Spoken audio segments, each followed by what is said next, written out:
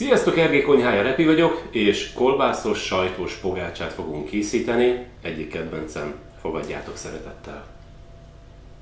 Kicsit brutál. Mm. Na hajrá! Elkezdjük összeállítani a tésztáját. Elsőként ebbe a kevés tejbe, ez kb. 1,2 deciliter tej. Most ennyivel kezdünk. Mm, fél kilogramm lisztből fogunk dolgozni, B55-ös finom lisztből. Nekem az a tapasztalatom, hogy ez 1,2 maximum egy másfél deciliter tej kell ehhez a mennyiséghez. Ez a tojás mérete is megszabja. Lényeg az, hogy ebbe a langyos tejbe bele morzsolom az élesztőt. Egy kicsit elszuszpendálom. Teszek hozzá cukrot. Ez körülbelül egy teljes kanálnyi cukor, ami belekerül, és jól eldolgozom, elszuszpendálom az élesztőt, cukor majd feloldódik benne, tápanyag is az élesztő gombának.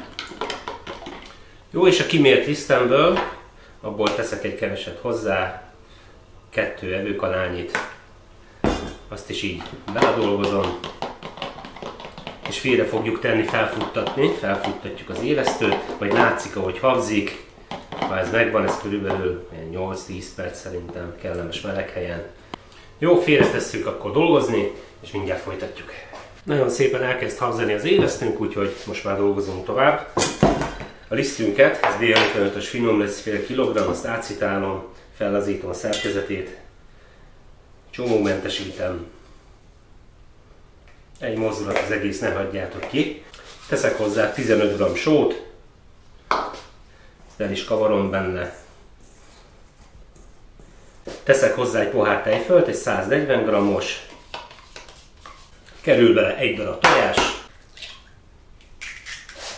A vaj az még félre van téve, azt még kicsit később rakom hozzá, és jöhet hozzá bele a felfuttatott élesztő tej. Jó, és elkezdem bedagasztani. Már csak a vaj van hátra, kicsit összeáll a tésztám, és rakom is hozzá. Lényeg az, hogy nem ombós tésztát készítek. Nagyon jó állaga lesz majd a pogácsának. Jó, egy kicsit össze is állt a tésztám, úgyhogy már teszem is bele a vajat. Szépen beledolgozom. Jó, egy közepesen kemény tésztát fogunk készíteni.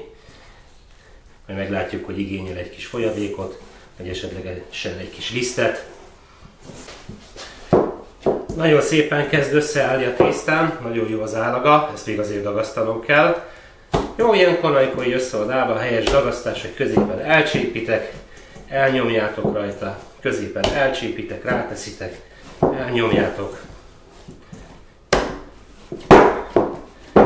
És lényegesebben megkönnyíti a dagasztás is majd. Az edényfalától már most gyönyörűen válik el, összeszedett mindent, de még kell azért vele dolgozni. Jól kidagasztottam a tésztámat, gyönyörűen, szép, sima, távol minden összeszedett, nem marad benne semmi, ide se ragad, úgyhogy nagyon jó lett az állaga neki. Kicsit fölgömbölyítem.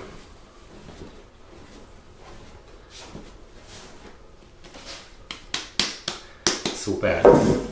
Visszateszem az edénybe, letakarom, és 30 percig hagyom, hogy érjen a tésztám, és utána elkezdjük feldolgozni, bele fogjuk majd hajtogatni azt a kolbászt, amitől tényleg ilyen jó kis különleges lesz. Na hajrá! Kellemes meleg helyen érik a tészta, addig megcsináljuk a kolbászt, egy kevés vajjal össze fogom dolgozni, ezzel fogjuk majd megkenni a tésztáját. Lehet vaj helyett sajtkrémet is használni, azzal is nagyon-nagyon finom, mert csináltam úgy is, most én egy egyszerű verziót mutatok nektek. A lényeg az, hogy 20, de, 20 dekagram füstölt kolbászt én felkarikáztam, nekem van ilyen aprítógépem, én ebbe az kicsit ilyen szikkattabb, szárazabb kolbászt nagyon szépen föl tudom darálni. Ha nincs ilyen aprítógépetek, akkor valamivel daráljátok le, vagy pedig kevésbé szikkat kolbászt valahogy pípesítsetek el egy villa segítségével. Jó, benne van a kolbászka, ráteszem a kis gépemre, és ezt most egy kicsit összeaprítom, utána hozzáteszem a 15 dekagram vajat.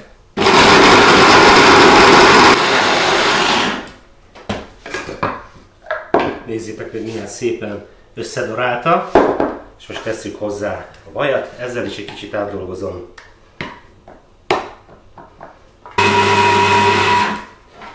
Na szerintem meg is vagyunk, mindjárt megnézem. Igen, gyönyörűen eldolgozta. 30 percet pihentettem a tésztámat, és most elkezdjük feldolgozni. Egy kicsit dolgozott, annyira nem nagyon meleg a tészta, hiszen a tejföl ezek hideg, ezért hűsítettek rajta, de annyi érés már volt neki, tehát érezni az állagán, ami nekünk elegendő, hogy elinduljunk vele. Jó, egy kicsit alálisztezek, és nem túl vékonyra, de azért elnyújtom, hogy bele tudjam kenni a krémünket, próbálok egy ilyen téglalap alakot formálni, vagy nyújtani pontosabban. A tésztának szenzációs lett az állaga, semmit nem kellett hozzátenni, se folyadékot, se lisztet. Úgyhogy ezekkel az arányokkal bátran kimérhettek elsőre mindent pontosan működni fog. Na, kinyújtottam, nem túl vékony, és most jöhet a kolbászkrém, amit így egyenletesen el fogok rajta dolgozni. Fönt van a tepertűs pogácsa receptem is, az ugyanez a, az ugyanez a tésztája valójában neki, és az elv is ugyanaz, ahogy ott készítettem, csak a lényege az, hogy itt más lesz, más ízek lesznek. Jó, és szépen így elkenem rajta. Hú, de jó illata van neki. Ez a kisül, á, brutál. Jó, amennyire tudtam egyenletesen eldolgoztam rajta. Ha valaki akarja, még sajtal megszólhatja ilyenkor, de azért én nem akarom, hogy egy nagyon drága termék legyen, így se olcsó az és a kolbász se, a sajt se semmi.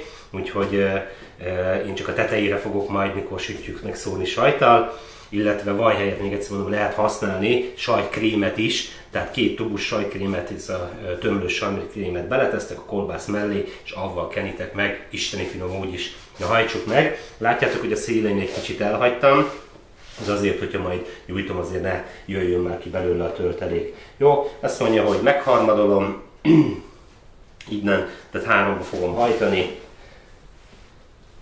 szépen eligazgatom a tésztát, becsomagoljuk, ráteszem. Így, ez az egyszerű hajtás különben, amikor leveles tésztát készítünk, mert van az egyszerű és az összetett, a dupla hajtás, ez az egyszerű hajtás. Annyit csinálok, egy picit nem nyomom meg nagyon, egy picit nyújtok rajta, töltelék egy kicsit igazodjon már most, de csak így fölfele.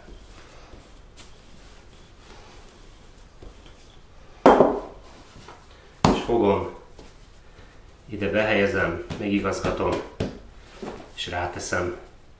Látjátok, erre kell figyelni, hogy ne jöjjön ki a töltelék.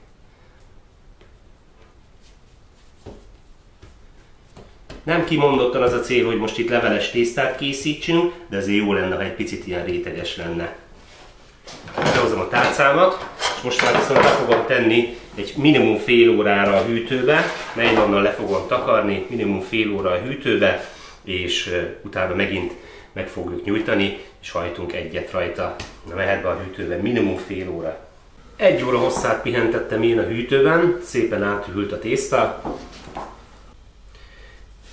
Lelisztezem, hogy ne ragadjon, és elkezdem kinyújtani, és még egy hajtást fogok rajta csinálni. Először így nyomkodjátok meg óvatosan, nem kell egyből vadul, hogy nyúljon magától a tészta, és ez nem baj, ha a kolbász töltelék benne egy kicsit így rendeződik, vagy kilátszódik. Még egyszer mondom, nem leveles tésztát akarunk csinálni. Egy kicsit réteges lesz majd persze, ugyanúgy, mint a tepertűs fogácsa is, ahogy volt, aki már látta azt a videót. De sokkal jobb az állaga a tésztának, hogyha így vele hajtogatjuk. Jobban kedvelem őt. Picit időigényesebb, tudom, de megéri, higgyétek el.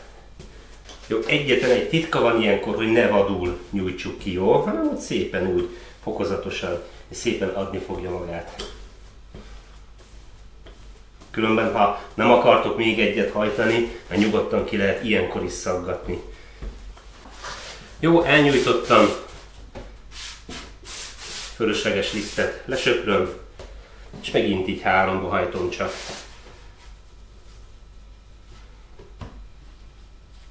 Megigazgatom, lisztet lesöpröm róla, a felesleges lisztet.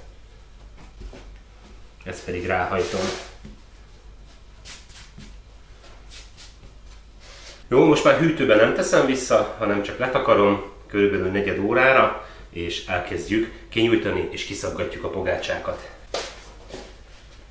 Hagytam negyed órát pihenni a tésztát, és most elkezdjük kinyújtani, és elkezdjük kiszaggatni. Kicsit ide lisztezek, nehogy letapadjunk, kicsit a tetejére is, és elkezdem óvatosan kinyújtani.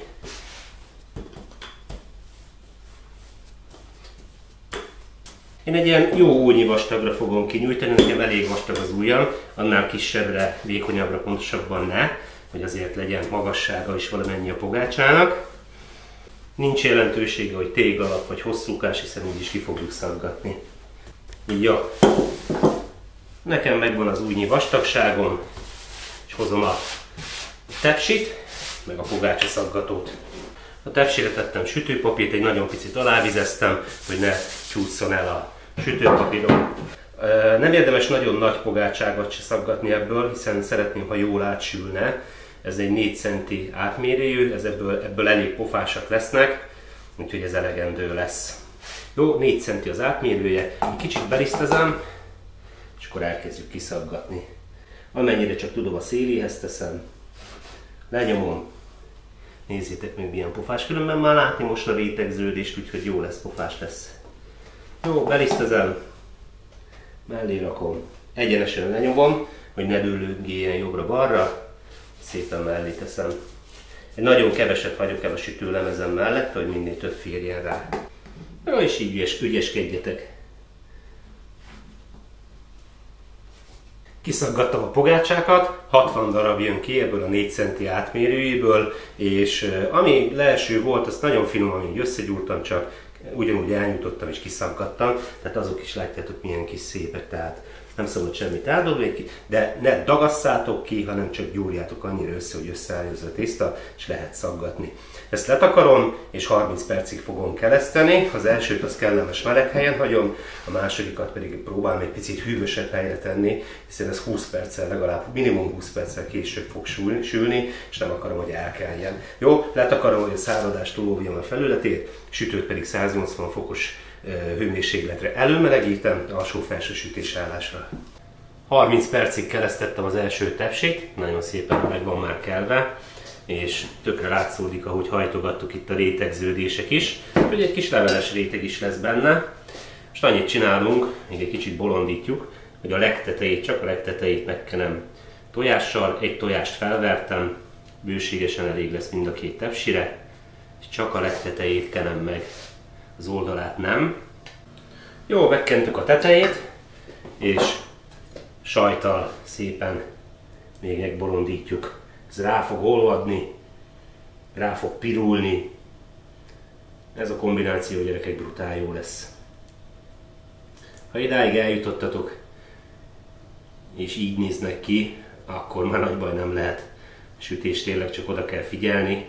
Elő is melegítettem a sütőt, 180 fokra, alsó-felső sütésállás, és szépen át kell, hogy süssük. Azért zsiradék van benne bőven, arra oda kell figyelni, hogy tényleg át legyen sülve a közepe is, mert elég kellemetlen, mikor egy pogácsa kívülről hirtelen hő hatására megpirul, utána meg, mikor eszed belülről ilyen érzed, hogy ilyen zsíradékos, ilyen tömör, át kell szépen sülnie neki, ezért nem szabad magasabb hőmérsékleten sütni minimum 20 perc lesz a sülési ideje neki, de majd nézzük. Meg is vagyok vele, mehet a sütőbe, 180 fok, alsó-felső sütésállás, és szép alaposan átsütjük.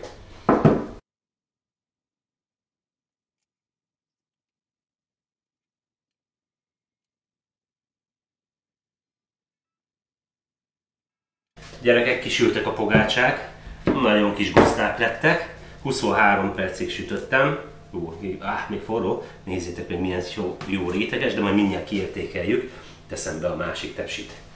Kisültek a pogácsák, nagyon szépek, az illat az valami eszméletlen. Nézzétek meg milyen szép rétegződések alakultak ki, ahogy megsültek, úgyhogy egyet szét is szedek. Á, gyerekek, gyönyörűen meg van sülve belül is. Hát valami brutál. Roppan, a sajtot ropogósra sütöttem meg rajta, belül még szaftos, de jól át van sülve. Az illat valami eszméletlen. Hmm. Hmm. Remélem tetszett a videó, igen.